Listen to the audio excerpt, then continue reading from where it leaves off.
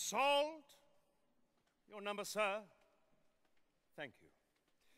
Lot 663, then. Ladies and gentlemen, a poster for this house's production of Hannibal by Chalumeau. Showing here. Do I have 10 francs? Five then? Uh, Five, I am bid. Six. Six. Do I see seven? Seven. Against you, sir. Seven. Eight. Eight. Eight once. Selling twice.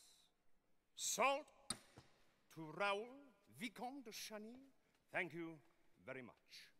Lot 664, ladies and gentlemen. A wooden pistol and three human skulls from the 1831 production of Robert le Diable by Maya Beer. Uh, ten francs for this. Ten, thank you. Ten, I am bid. Ten francs still. Fifteen, thank you, sir. Fifteen, I am bid. Going for fifteen. Your number, sir? Thank you.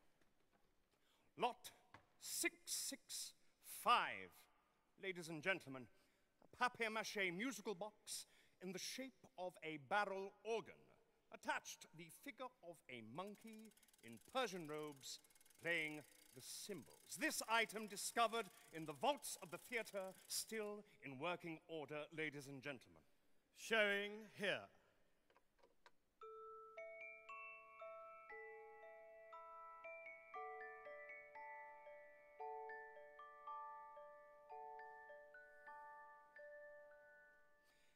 May I commence at 20 francs?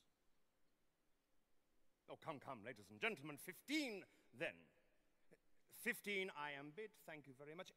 Yes, 20 from you, sir, thank you very much indeed. 25. 25 on my right, thank you, madam. 25 I am bid. 30? 30.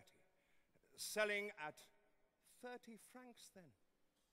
30 once, 30 twice, sold for 30 francs to the Vicomte de Chagny. Thank you very much, sir. Boy.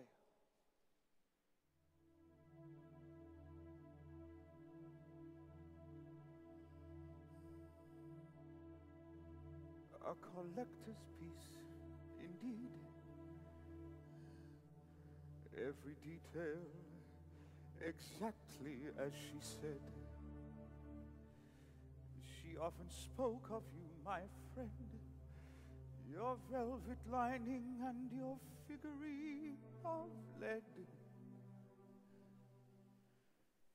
Will you still play when all the rest of us are dead? Lot 666 then. A chandelier in pieces. Some of you may recall the strange affair of the Phantom of the Opera, a mystery never fully explained. Uh, we are told, ladies and gentlemen, that this is the very chandelier that figures in that famous disaster. Our workshops have restored it and fitted parts of it with wiring for the new electric light so that we may get a hint of how it may look when reassembled. Perhaps we may even frighten away the ghost of so many years ago with a little illumination. Gentlemen!